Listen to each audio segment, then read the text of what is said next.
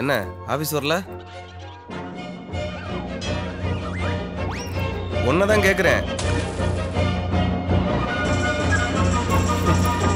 என்னமோ பண்ணு.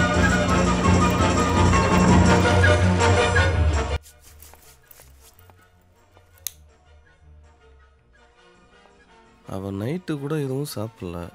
நம்ம வேற வெளியில் வந்துட்டோம். இப்போ தனியாக உட்காந்து எதுவும் முக்கிக்கிட்டு இருப்பாளோ? கையும் களவுமா பிடிப்பான்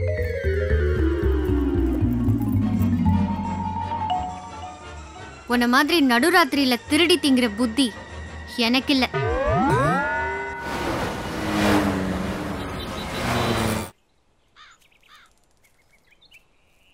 Excuse me? Shall I sit here? ம். Thank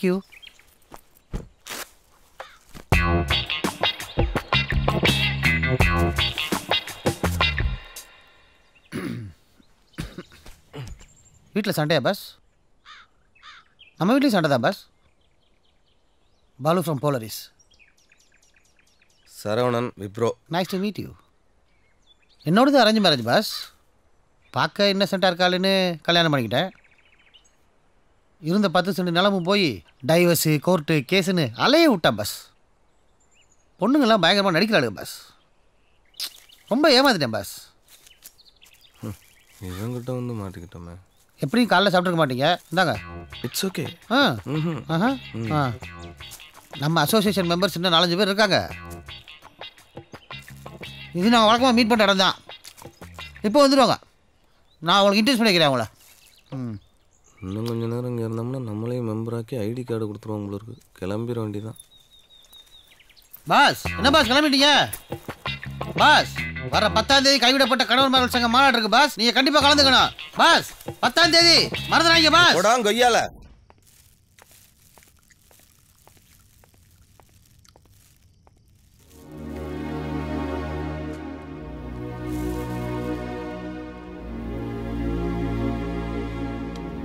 சமைச்சேன்னா ஃபோன் பண்ணி சொல்ல வேண்டியதானே நான் எனக்கு மட்டும் தான் சமைச்சேன்.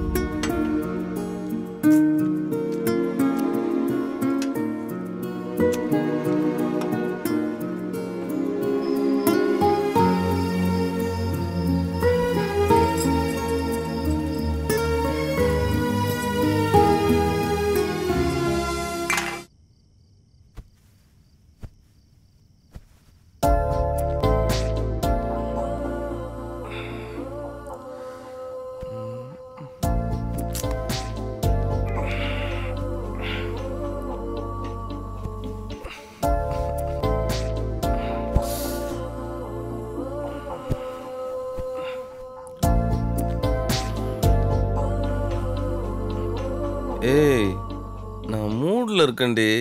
நான் மூட் அவுட்ல இருக்கேன். இப்போ என்ன இருக்கா இல்லையா? சாரி சொல்லு இருக்கு. ஏய் நான் எதுக்குடி உனக்கு சாரி சொல்லணும்? வாடி. கையடா பொறுக்கி. ஏய் என்ன பொறுக்கி கிரிக்கின்ற என்னடி ஓவரா பில்டப் பண்ற? என்னடா பில்டப் ரொம்ப பேசுற?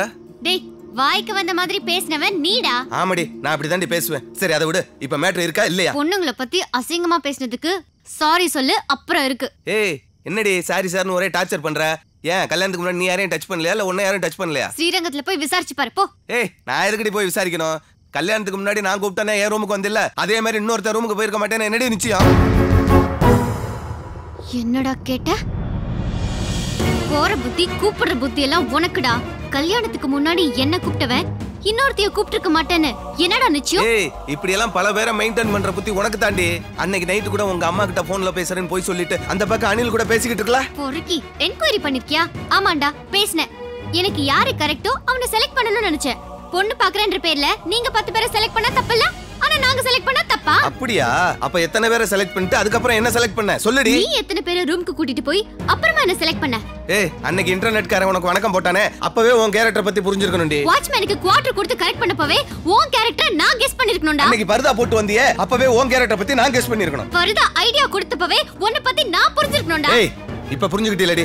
போடி என்ன புடுங்க முடியுமா பிடிக்க போ. இந்த அண்டர் எஸ்டிமேஷன் இந்த அண்டர் எஸ்டிமேஷன் தான் பொண்ணுங்களுக்கு பிடிக்காது. கல்யாணத்துக்கு அப்புறம் நீங்க என்ன பண்ணாலும் பொண்ணுங்க ஒண்ணும் பண்ண முடியாதுங்கிற திமிரு தானடா? காட்டுறேன்டா நான் யாருன்னு காட்டுறேன்டா. ஏய் அதான் காட்ட வேண்டியதெல்லாம் காட்டிட்டியே. வேற என்னடி காட்ட போற? சரிதான் போடி.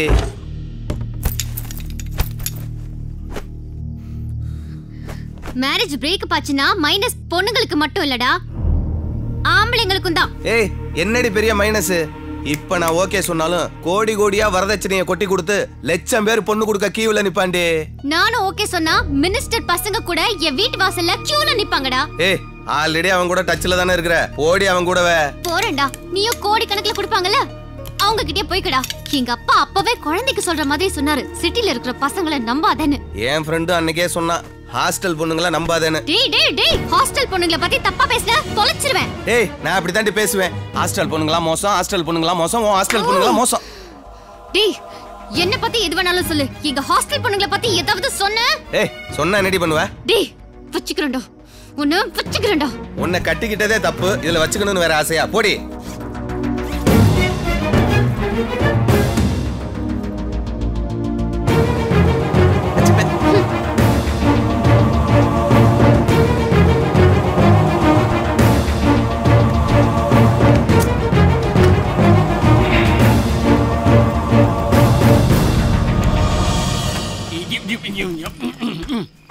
மேடம் டிவியில் சீதையும் ராமரையும் பார்த்துருக்கேன். சினிமாவில் சிவனையும் பார்வதியும் பார்த்துருக்கேன். கதையில் லைலா மஜ்னு படிச்சிருக்கேன். டிராமாவில் ராதையும் கிருஷ்ணனையும் பார்த்துருக்கேன். பட் உங்களை இப்பதான் சிங்கிளா பார்க்கறேன். உங்க ஜோடி வாட்ட ஜோடியா? பணம் வேணும்னா கேளு வாசிக்காத. இல்ல மேடம் வாசிக்கல யோசிக்க வச்சிட்டீங்களே. நீங்க தனியா இப்படி அர்த்தராத்திரில அம்போன்னு கிளம்பிட்டீங்களே. சார் எங்க? உங்க சார் செத்துட்டாரு. வெரி குட் ஆ? ஆட்டோ. எங்கம்மா போகணும்? டி நகர் போகணும். முந்நூறுரூவா ஆகும். ஃபைவ் ஹண்ட்ரட் தரேன். வண்டி எடு.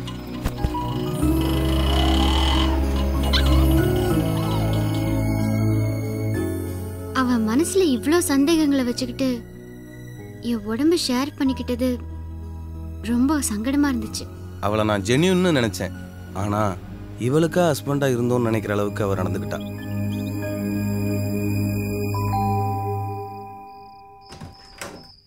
சந்தியா என்னம்மா இந்த நேரத்துல?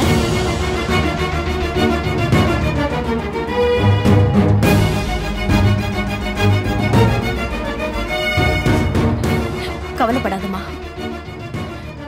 இந்த மேல் டாமினேஷனை நான் ஒழிக்கிறேன்.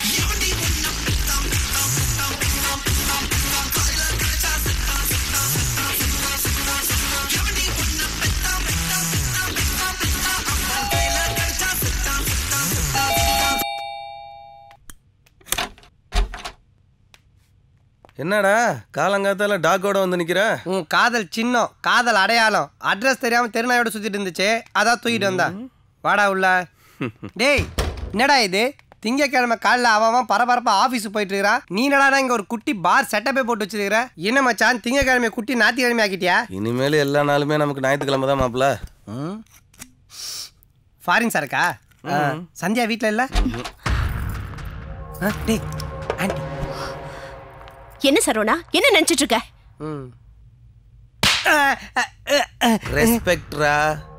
ரெஸ்பெக்ட். கல்யாணம்னா என்னன்னு நினைச்சிட்டு இருக்க எந்த கல்யாணத்தை பத்தி கேக்குறீங்க? ஆ, குண்டு கல்யாணத்தை பத்தி கேக்குறாங்க. ஆன்ட்டி இப்பதானே கல்யாண ஆசை வந்திருக்கு. ஆன்ட்டி என்கிட்ட ஒரு சூப்பர் மாப்பிள்ள இருக்கிறாரு. மேக்கப் மேன் புஜ்ஜு பாபு ஓகேவா ஷட் அப் கல்யாணம்னா என்ன? சின்ன பசங்க விளையாட்டு நினைச்சியா? விளையாட்டு ஏ மாப்பிள்ள உன் ஒப்பீனியனை சொல்லு. ஒரு தாலி ரெண்டு மாலை மூணு முடிச்சு நாலு செங்கல் அஞ்சு கிலோ அச்சதை ஆறு முழம் பூவு ஏழு சுத்து எட்டு முழம் வேஷ்டி ஒன்பது கஜ புடவை. சுற்றி நிற்கிறவனுங்க பத்து பேர் சும்மா திங்கிறவனுங்க நூறு பேர். இதுக்கு பேர் தான் கல்யாணம். கரெக்டுங்களா ஆண்டி? லூசுத்தனமா உளராத உங்க மனசுல பொம்பளைங்களை பத்தி என்ன நினைச்சிட்டு இருக்கீங்க? பொம்பளைங்களை பத்தி எல்லாம் எனக்கு தெரியாது. ஆனா சந்தியாவை பத்தி நல்லா தெரியும். அவ சரியான திமிரு பிடிச்சவ சந்தேக பேருவிலே பைத்தியக்காரி. உன்னை நம்பி ஓடி வந்தால அவளுக்கு பைத்தியம்தா நீ ப்ரப்போஸ் பண்ண உடனே ஒத்துக்கிட்டா பாரு அவளுக்கு திமிர்தான் எல்லாரையும் உதறி தள்ளிட்டு உன் கூட வந்தா பாரு. சந்தியா சந்தேகக்காரி தான் என்ன பிரச்சனை? ஒரே குழப்பமா இருக்கு. நீங்க சினிமா பார்த்து சீப்பா சண்டை போடுறதுக்காகவா? நான் கையெழுத்து போட்டு கல்யாணம் பண்ணி வச்சேன். கல்யாணங்கிறது அஞ்சு எழுத்து அக்ரிமெண்ட் ரெண்டு பேர் வாழ்க்கையோட கமிட்மெண்ட் இப்போ எதுக்கு ஆன்டி சீரியல் டயலாக்லாம் பேசிட்டு இருக்குது? கவனிப்போம் சின்ன சண்டை வந்துட்டா?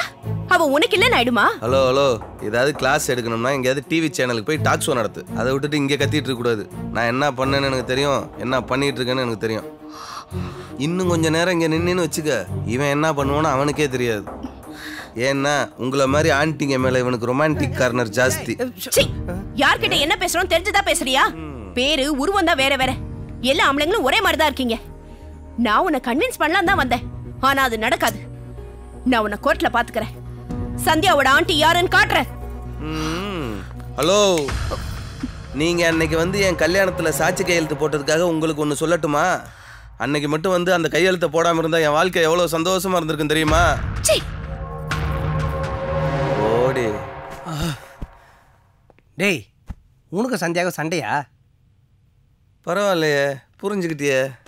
ஏண்டா வீட்டுக்குள்ள ஹாலில் டைனிங்கில் கிச்சனில் பாத்ரூமில் இப்படி எந்த ரூமில் சண்டை வந்தாலும் அதை சால்வ் பண்ணதா பெட்ரூம்னு ஒன்று இருக்குதுல்ல?